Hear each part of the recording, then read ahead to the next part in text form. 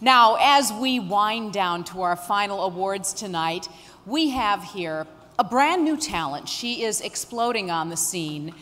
Her name is Gabourey, Gabby for short, Sidibe. Would you welcome to present her with her award tonight, the wonderfully talented, I know I've been saying that a lot tonight, but this room is filled with it tonight. She's beautiful inside and out. She's a joy. Taraji P. Henson.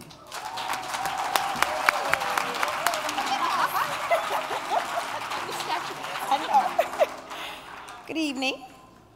Um, the new Hollywood Award is bestowed on a talent who has made quite a mark on the industry this year.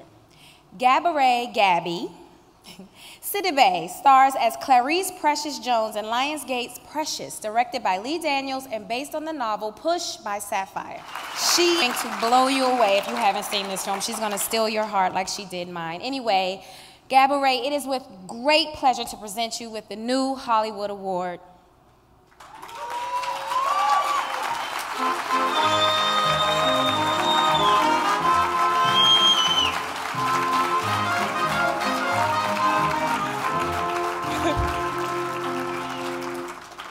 Hi.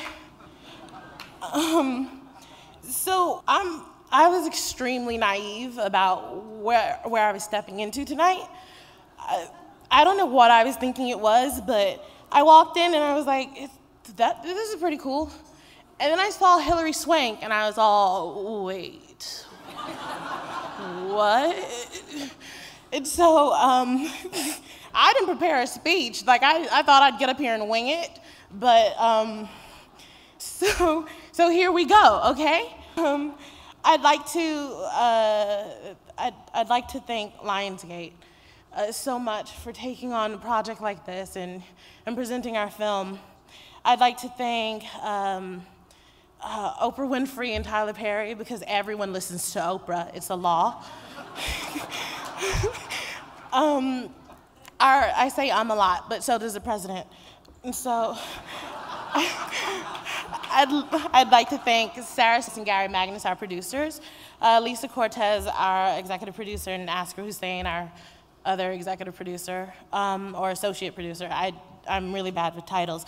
And I'd love, I'd like to thank um, Lee Daniels, who is such a visionary. He's so, he's so big to me, and he's such a genius. And I'm a random girl from Harlem. I really am. Am I gonna? No.